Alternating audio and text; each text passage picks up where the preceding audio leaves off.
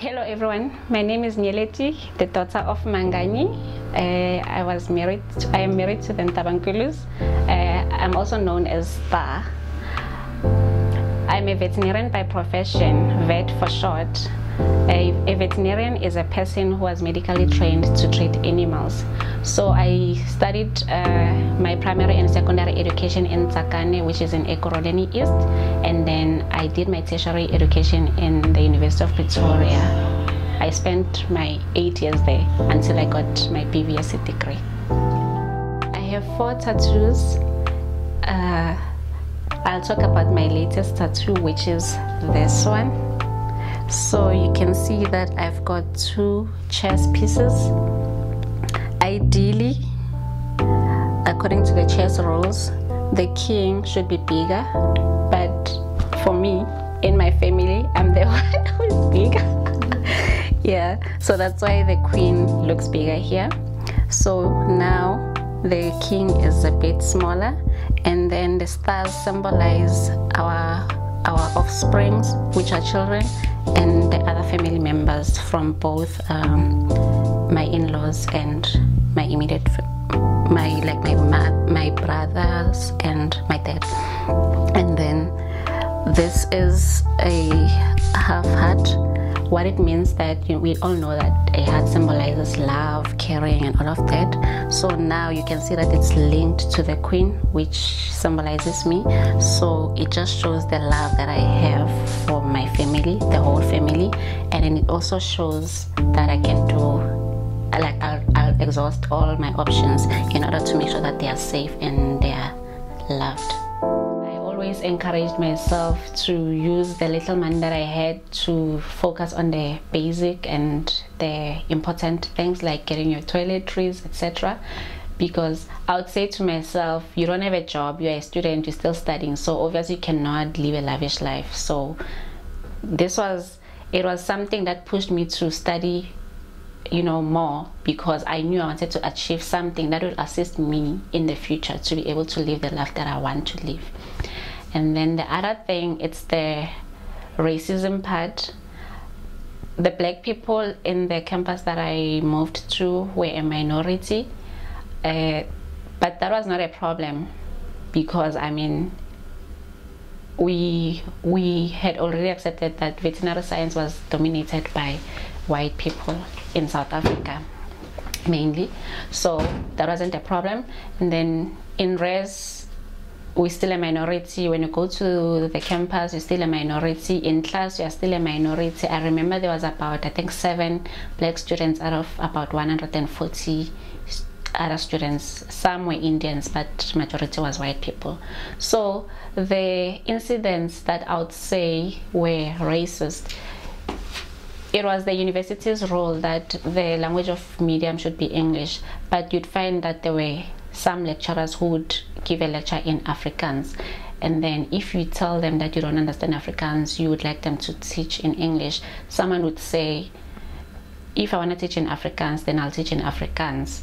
And you can go and report me to the dean if you want. He won't do anything because he needs us here, such things. So already you feel discouraged because I mean, if a lecturer is able to do that to you in front of other students as well then it also like it lowers your self-esteem and then it gives the other students the authority to i don't know if they wanna act racist to you then they will do that even if they're just being cruel you know like the normal cruelty. But because you feel like you're of a different race then in your mind it will always feel like it's it's a racist attack or a racist whatever incident. So they knew that they they always had support. So you end up as a black person feeling that you don't have anyone to cry to such things. So for me it was a challenge. Uh, at that moment i felt like all, only black people black lecturers the black workers the general workers at the university were the only ones who understood our situation there. The other one was when I was in my sixth year of study when I lost my mom in May 2013. So that really broke me a lot. But then I I just believe that if it's God's will, then it is okay. And then I just asked God to give me more courage, you know, to focus on this goal that I had. Uh, and I even I remember praying that God, please just give me the strength to accept this situation and be able to move on. I mean, this is the road that everyone will take in life, but it shouldn't stop us from achieving our goals and living our normal lives. Obviously, there will be a change because a certain individual who used to live with you is no longer there you know. Now you're just gonna imagine if this person was here this is what i would be doing such things you know. I mean even the festive seasons won't be the same anymore you know. The easter seasons won't be the same anymore. The support that you used to get from that person is no longer there but you just know deep inside that if this person was here then the situation would be this way. But then I'm just grateful that even though I lost my mom, at least I still had my dad and my siblings, you see. They also play a very important role in my life, but the roles are different. So that year, I remember I even told myself that I don't want to see myself failing any module or having a sub because I wanted to go home earlier and spend more time with my family. So I studied harder that year. And since that day I never had a fail I never failed a subject or had a sub you know. Um, yeah I passed everything and then I got to go home earlier which was good for me. So I spent about two months at home two two and a half months something like that at home. And then I came back for my seventh year of study. Then I also studied harder, passed everything. then I started my clinics. then everything went well. It was very challenging as well, but then I'm just saying that the main challenges are the ones that I've already mentioned. So there were other small challenges, you know, but then I managed to overcome them. And I finished my my degree. then I graduated in 2016 April. In life, we make choices uh, along the way that are gonna work for us. Some of them they don't work for us, but then for me, I decided uh, not to date at that time because I wanted to focus on my goal, which was to get a, a, degree, a BVSc degree. So, along my journey, I I did some of the things that I did to you know like at my free at my free time were playing sports. I used to play netball for, for, the university and rest at that time for about two years or so. And then I would go out with my friends for movies whether we go to the park you know such things. I'd spend time with my family etc church mates etc but then at that time I told myself that I'm not gonna date because I felt like the little time that I have for my studies, I cannot, I couldn't share it with someone else. So the other things, the other activities that I was doing at that time were enough for me. So I didn't want to add another relationship at that moment. I felt I wasn't ready. Until 2015, in my final year, that's why I felt that, okay, I think I can start another relationship and whatever happens i'll be able to you know stand my ground on it. If there are challenges then i'll, I'll manage to to overcome them such things. And i wouldn't blame anyone because it's my decision you know. So yeah. What's exciting now about my life is being financially free. Yay. Yeah it's really good. Um, I enjoy it. I get to do the things that I wanted to do when I was still a student. Some of them have changed a bit, but because I have the finances now, it's much better.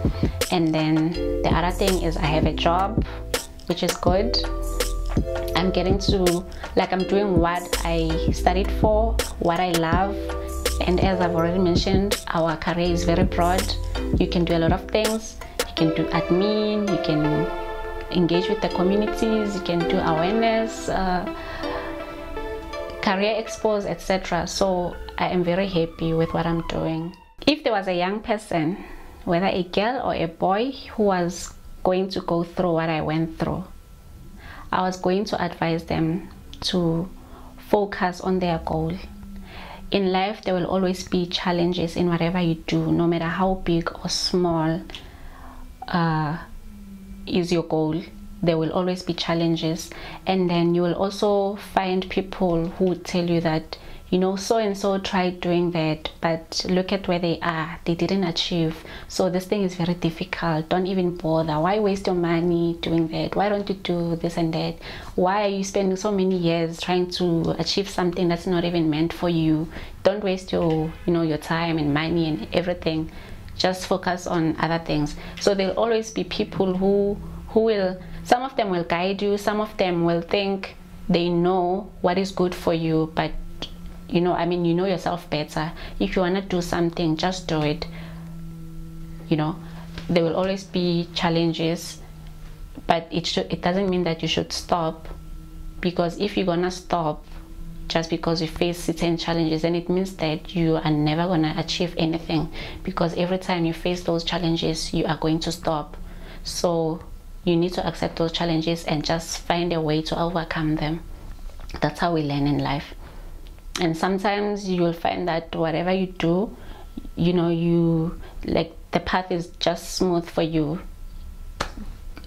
I mean I, I won't say that you always have to go through something bad in order to achieve something. What i'm trying to say is sometimes you find that you know you are mentally ready in a certain way to achieve certain things and then in the end you'll end up saying but so and so said this was not achievable. How did i achieve it? You know? So that's why it's not always good to listen to what other people say you know because you shouldn't allow people to dictate your life.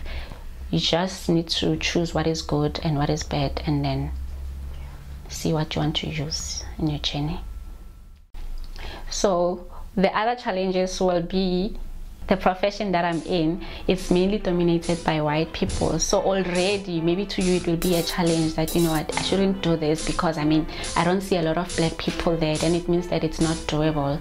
Look at me. I told myself that I'm gonna do it, and I achieved it. So, in short, I just wanna say hashtag it is possible black child.